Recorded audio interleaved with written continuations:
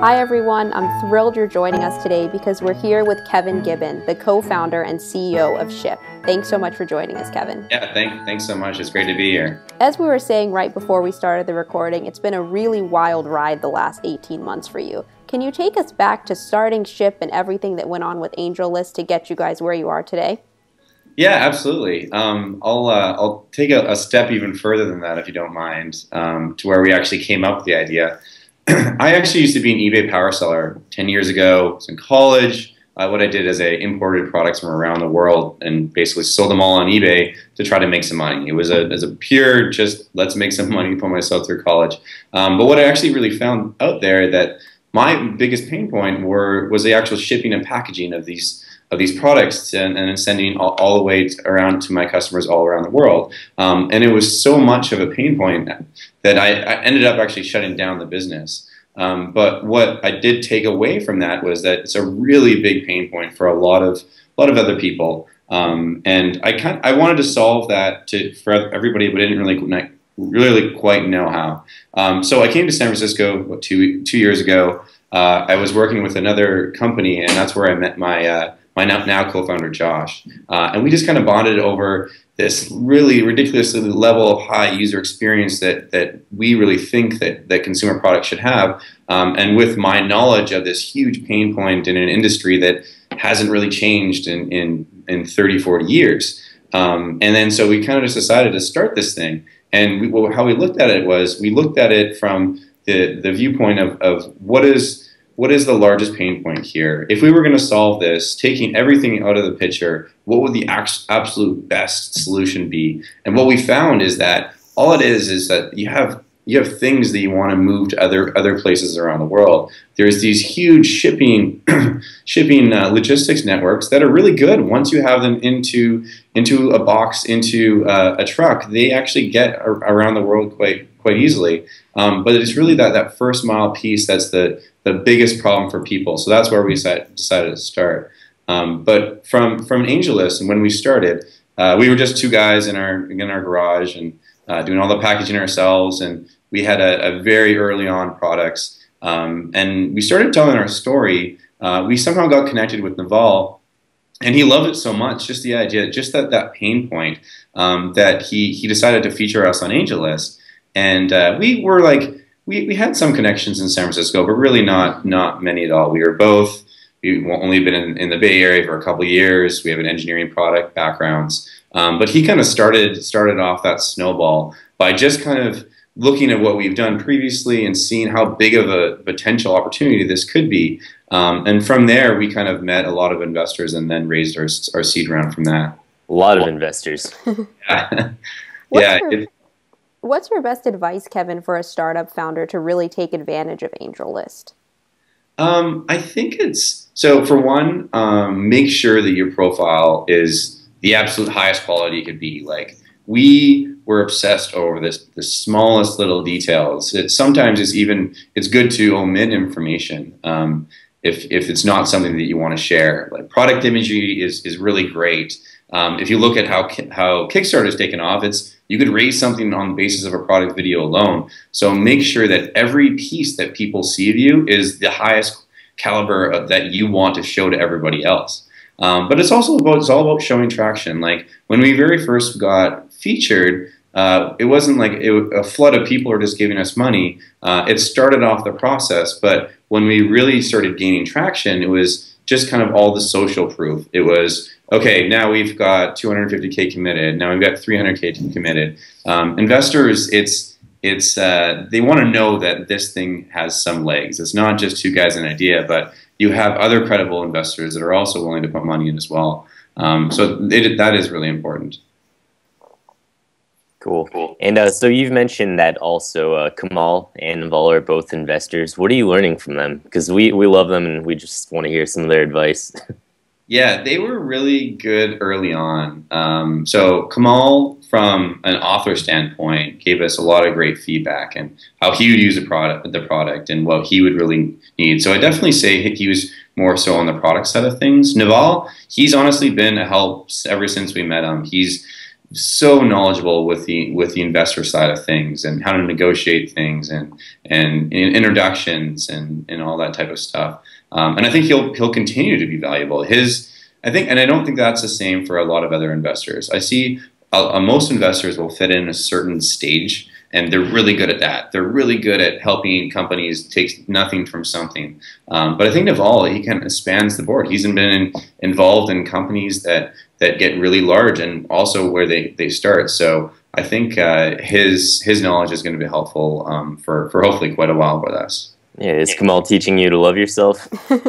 Yeah, exactly. Absolutely. awesome. So, in addition to them, though, like we mentioned, there's a huge group of investors. So, how are you navigating the feedback from so many successful entrepreneurs?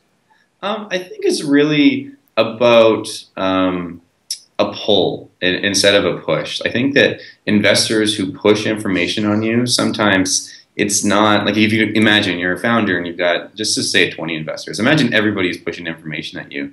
It can be quite overwhelming um, but the good investors realize that that's not that's not that's not what founders want. Um, they want you to be there when you have questions or you're looking for specific introductions. Um, and besides that it's it's almost kind of it's good to be hands off almost. Um, so that's exactly what we do. We're we're, we're not talking to investors every day, every week, and every month in some cases, but um, we do periodically reach out to these to these folks for pointed questions, pointed introductions, um, and I think I'll continue to do so. I want to shift gears, Kevin, for a moment and talk about hiring because you mentioned that you started two people in a garage and now you guys are a huge organization. Right. I know you target two characteristics in people, and that's empathy and the courage to take risks. Yes. Those are pretty hard to test for in an interview. So how do you do it? It's honestly, I wish it was easier. I, me personally, it's all been about guts. Um, and I've made I, I, I, think one or two hires in the last year or so that I haven't felt like I, my gut had just ha- hadn't didn't have that feeling, and they turned out to be um, bad hires. Um, but I think those are some really important traits. Um, I, I like to think that I have both of those. Um, maybe that's arguable, um, but I think it, it, just shows a lot about your your personality. Like the empathy uh, is just so important. Like from a product perspective, like can you put your yourself into that user's shoe when they press this button? Are they going to understand the full context of what that means? Um, and if you don't have that the empathetic um, uh, trait, it's you just can't do that. Um, and as, as far as failure, like I think that that's personally something I have a lot of, um, and I know my co-founder does as well.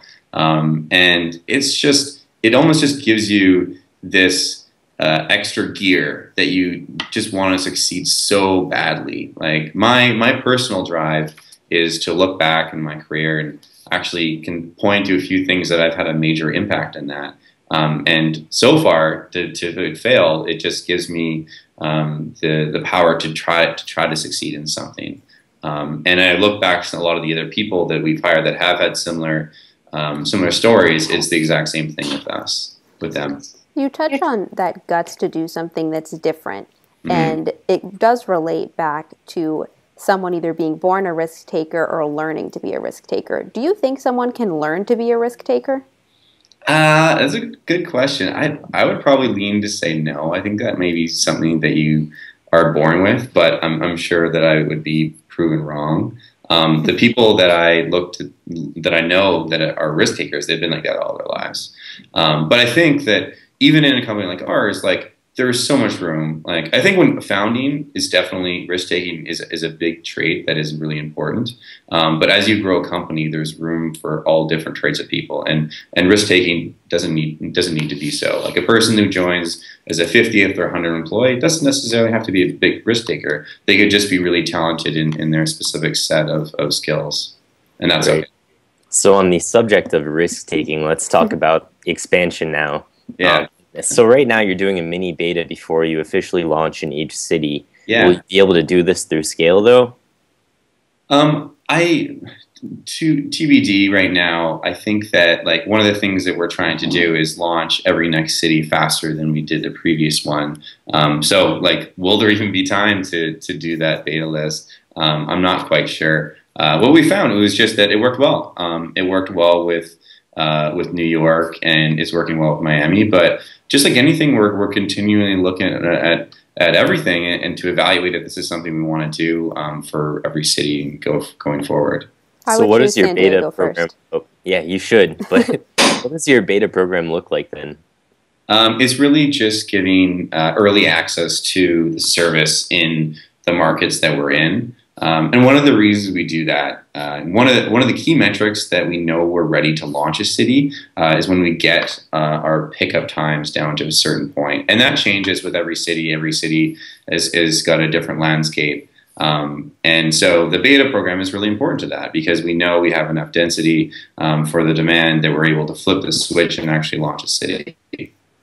All right. And so now I'm going to shift over to, uh, we have some questions from our audience if you don't mind. The, the first one is from Frank. Any plans for Shyp to try to make money in the backhaul and transportation? Empty miles are always wasted miles. Yeah, I think that that, that is really interesting. Um, what what we've done is I think it's so important to focus. And right now we're we're looking to focus. We're solving this pain point for consumers and very small business with with an iPhone app. We'll be launching our Android app shortly. Um, and I think this just the industry we're in. There's so many different types of things we get into, but I think it's all about focus. And if we started doing a lot of this stuff, especially early on, we would just get distracted, and we we only have a certain amount of of people and a certain amount of money. Um, so right now, absolutely, not not something that we're focused on. How do you personally, Kevin, decide when? You notice that you're shifting off focus. When do you know it's a good opportunity to pursue, and when do you know you have to go back and just start with the mission?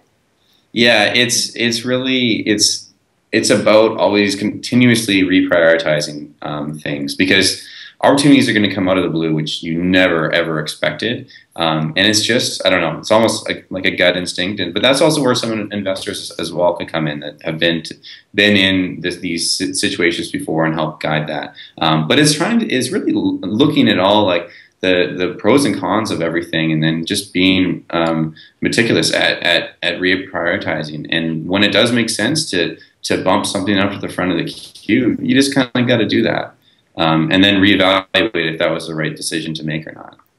Great. So our next question comes from Fawaz Ahmed, and he wants to know how you guys are nailing profit margins, and if you have any tips on coming up with a good one.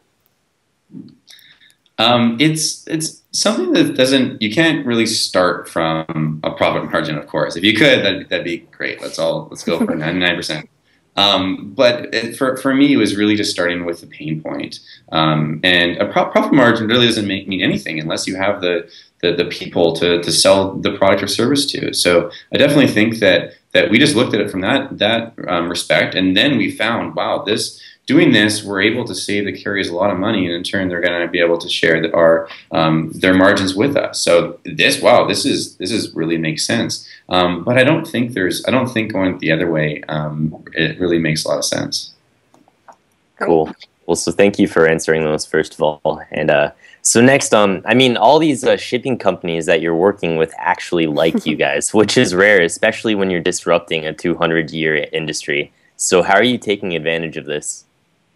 Um, I think it's it's really um, we yeah we, are we're, we're looking at it as, as a very much a partner relationship, and we cannot do this without them. We're not to create uh, another UPS from from laying the trucks on the grounds to the, the planes is very insurmountable. Um, but we're looking to just help out in that that one piece, and arguably to us is that it's the most friction filled piece. Um, and essentially, what happens is we're actually unlocking a lot of business that they wouldn't have been able to get um, if they if this our service didn't exist. Like I'm not sure if you if you yourselves or anyone in your audience has had something that sat on their desk for three months that there was a gift and it's way past you. okay, um, so it's it's we're really enabling those type of things. Um, another really interesting piece is e-commerce returns. Um, a lot of like the the FedEx and UPS's um, they see when you print that label. They see when you had that intent to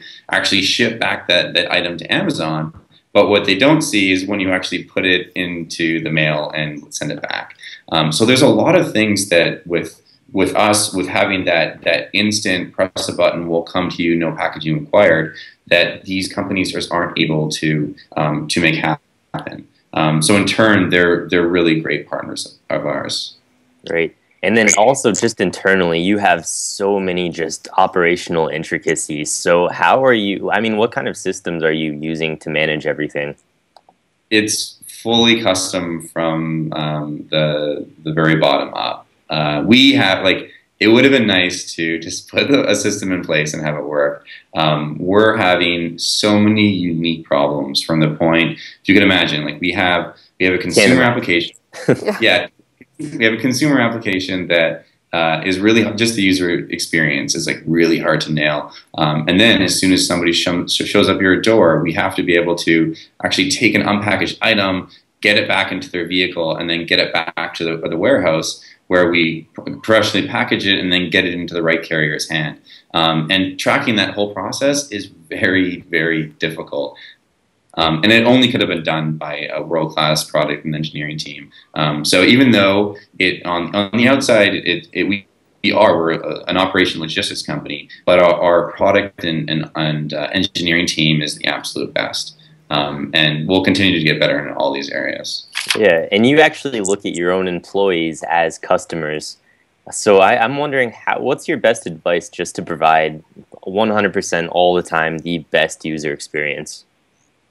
Yeah, it's it's you know what it's it's a lot of the things that make sense like uh, compensation is really important, of course, but there are a lot of little things that you could do to to make people feel a part of this. Uh, we do a lot of community events. Um, we we even so what, what happens is we have we have a van, we call it a satellite, it orbits around a city. Um, and so what its purpose is actually is to to unload the items from all of our of our Shyp heroes driving around the city. It's as easy as putting some sodas and maybe some snacks in there. Um, there's little things that you could do to show that you care, um, and we're continually getting feedback from them, um, making the process better, um, putting more time into our actual technology for them. Um, it's a lot of different things, but it's it just really started with like I don't know if it's it's my personal empathy and my co-founders that have started this, and it's kind of transcended through the organization. Um, but we really just care um, about their their well-being, um, and it's turned and they we see it, and it in turn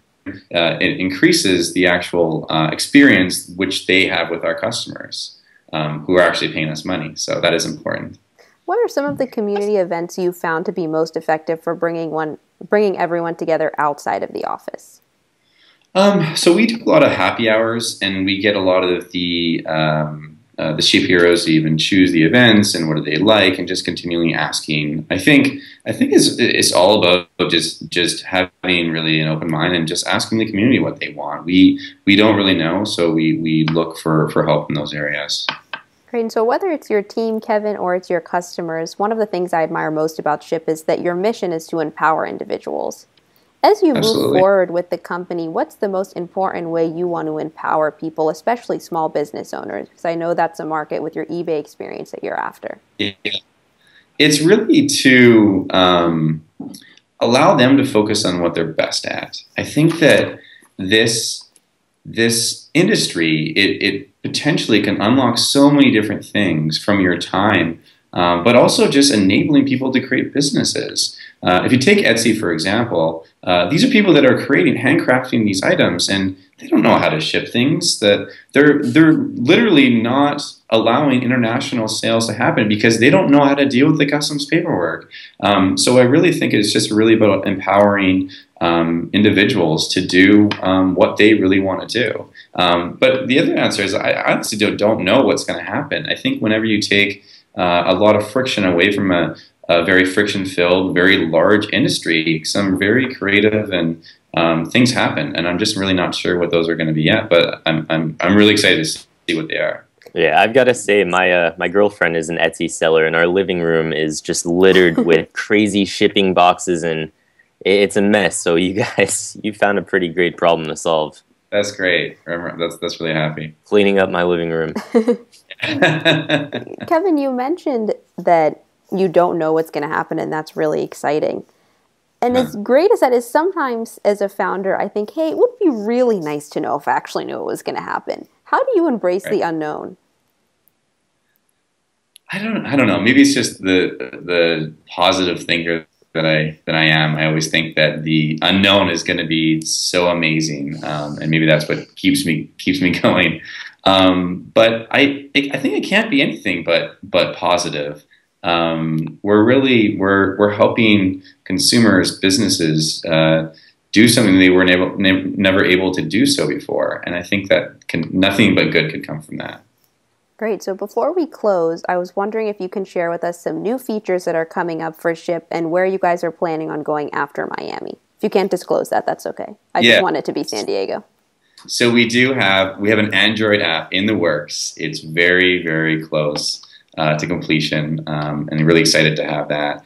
Um, and another thing also is that if you can imagine, um, so we have very small businesses that are using us, and taking a picture of every single item can be can be cumbersome if you have 20 to 100 items. Um, so one of the next things that we're focusing on to expand our business offering is just having products that are specifically designed for the the, the smaller to even medium sized businesses that may even have hundreds or thousands of items. Um, so nothing to announce yet, but that's definitely the direction that that we're going in. Um, and as far as city expansion, honestly, how we decide how we decide uh, city expansion is really on all the learnings that we've taken from the previous city. So we we on, we do not even know what the next city is going to be, but um, we'll be looking to to launch uh, that one shortly after Miami um, in late November. Great. Well, thank you so much, Kevin. Before we yeah. go, can you tell people how they can get on Shyp and start using it? Absolutely. Um, you could see more information at shyp.com, that's S H Y P.com, um, or you can go to the iPhone App Store and uh, download it onto your phone today. Great. Thank you so much for joining Thank us. Thank you. Thanks so much for having me.